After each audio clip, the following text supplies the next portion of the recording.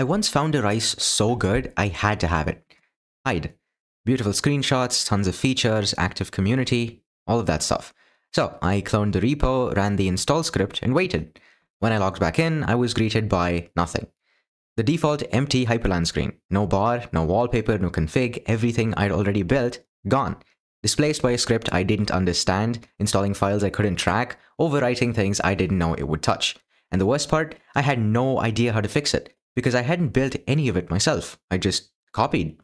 That was the day I learned something that changed how I approach Hyprland entirely. And if you're struggling right now, if it feels like every config breaks, every dot file fails, every setup is one reboot away from disaster, this video is going to fix that.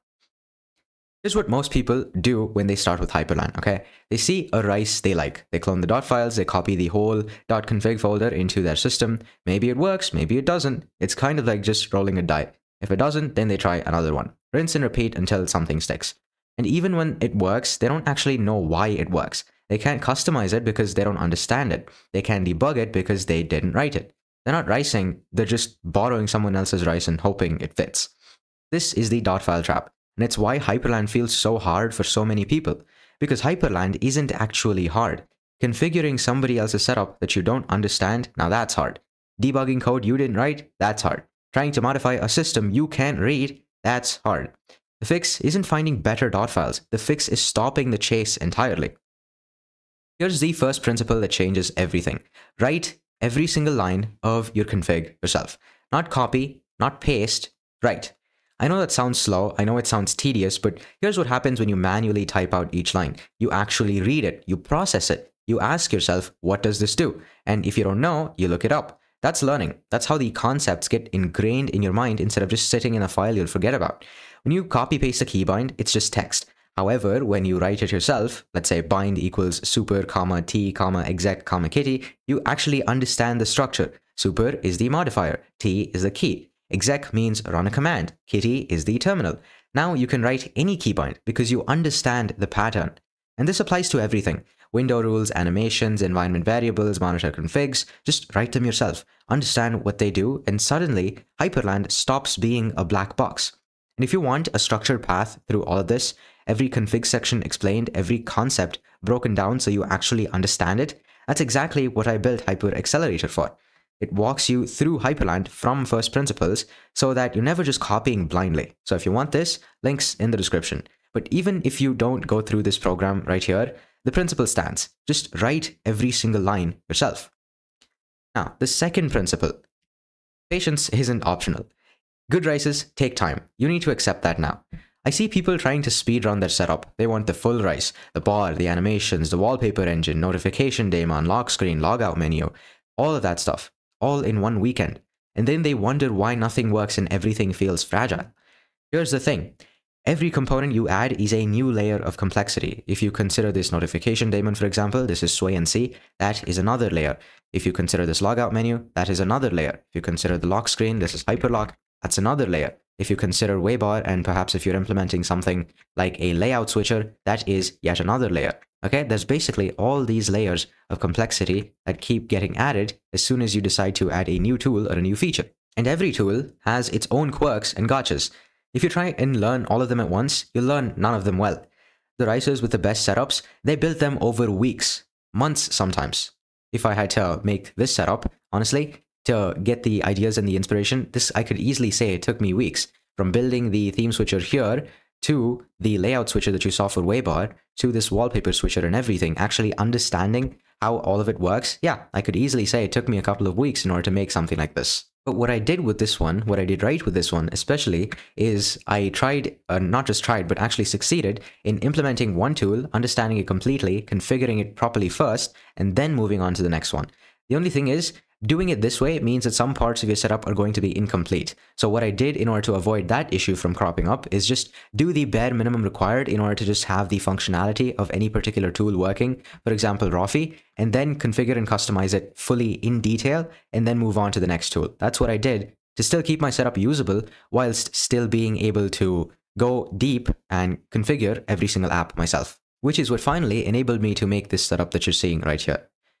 So, patience isn't a personality trait here, it's a strategy. It's how you build setups that don't break, that you can actually maintain, that you can debug even when something goes wrong. So, slow down, add one thing at a time, master it before moving on, and your future self will thank you. Now, for the third principle dot files are inspirational and not installational. Basically, this means use dot files for inspiration and not installation. This is the mindset shift that actually makes everything click. Once you see a rice that you like, don't clone it, study it, open their config and read it. Ask yourself, how did they get that animation curve? What's the Bezier curve doing over here? What actually are Bezier curves? Is that some math stuff or does it actually relate to computer science? Look at all of that stuff. Just look at the underlying core and guts of how actually stuff is supposed to work. What's the logic behind their window rules? How did they actually structure their keybinds? Then close their dot files and implement the concept in your own config, in your own way, with your own understanding.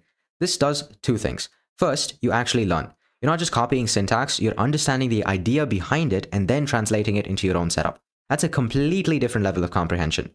And secondly, your rice becomes yours. It's not a clone of everyone else's setup, it's something that you built by hand, something you understand and something you can evolve and maintain and be proud of. The best .files repos aren't instruction manuals, they're museums. You walk through them, get inspired, take notes, and then go build your own thing. Now, here's what happens when you follow these three principles. At first, you'll be slower than the copy-paste people. They'll have full rises in a day, you'll still be writing window rules by hand. But after a few weeks, something shifts. They're stuck.